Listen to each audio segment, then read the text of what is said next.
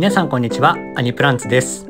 今日はアガベの梅雨対策について解説していこうと思います。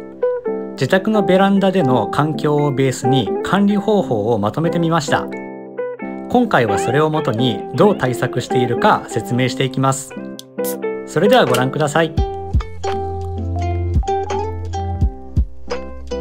まずはじめにアガベにとって梅雨の季節はかなり厄介な時期になります。厄介の原因というのはそう徒長です。毎日曇りや雨なのにいつも通りの管理で水やりをすると必ず徒長してしまいます。対策として皆さん水やり頻度を減らしているかと思います。僕のアガベも土はサラサラで日中はファンも回していますが水は全然あげていないですね。ではもう少しその理由を深掘りしていきましょう。一番の理由はそう。日光が当たらないからですね。水やりをすれば根が水を吸って葉が成長しようとします。それに応じてしっかりと日光に当ててやることで太くて立派な葉に成長しますが晴れない日が続く状況下で水をあげるとアガベは日の光を探して上に上に伸びていってしまいます。それが徒長という結果につながってしまうんですよね。なので水をあげない水やり頻度を減らすという理由になるわけです。このことを理解して水やりをコントロールすれば成長を止めたり遅らせたりすることができます。その状態を維持することで徒長させずに梅雨を越していく感じかなと思っています。それでは僕の家のベランダ管理法を紹介していきます。まずベランダの屋根はこのように手すり付近まで出ています。普通の雨であればアガベが濡れることはギリありません。ただ強風で内側に雨が入り込んでくると濡れちゃいますね。今のところ激しい雨でもずぶ濡れになったことは一応ありません。まあこの植物用ラックはビニールをかけて雨をしのぐことができるんですがかなり湿度が上がるので梅雨時期はかぶせていないです。なので基本はベランダの屋根で雨をしのいでいますね。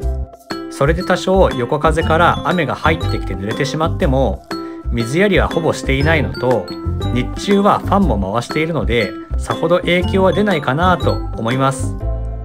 なので結果的に言うとほぼ触ってない管理法ってことになりますね。まあ外に出してあげることで曇りや雨であっても室内よりは明るい環境に置いておけるのと自然な風とファンの風両方当てられるのでアガベにとって多少なりともいい環境なんじゃないかなと思いました。はい。雨には基本濡れない環境でうちではたまに少しだけ水やりをしています。それが腰水です。溜めた水の上からちょんと数秒つける程度です。置いたままにしておくと水位が上がってくるのでほんのちょっとです。鉢底付近の土を濡らすイメージですね。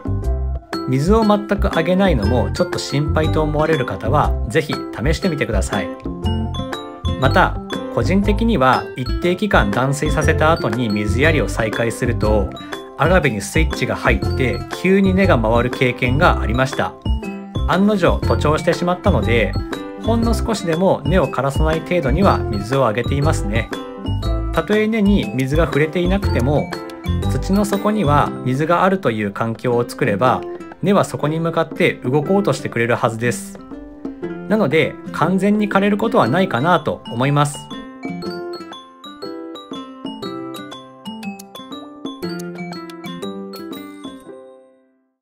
はい。ではその腰水をやるタイミングについて解説します。梅雨時期にとって晴れの日は大変重要です。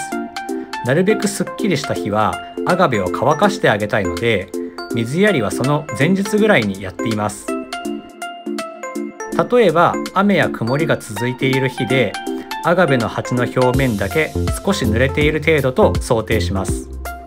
晴れる日の前日にちょっと腰水をしてあげることで晴れた日は鉢の表面もすぐ乾き根に水も吸収できている状態で光合成ができます。注意すべきは晴れの日当日に水をやってしまうと歯が濡れている状況で急に日が差すことで葉焼けする可能性が出てきます。ポイントは急に日が差すという点です。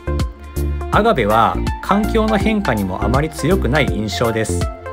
曇りや雨がしばらく続いていた場合いきなり晴れた太陽の光を水やりした後の濡れたアガベに浴びせるのは環境の変化にも対応できず葉焼けするケースも少なくないと思います。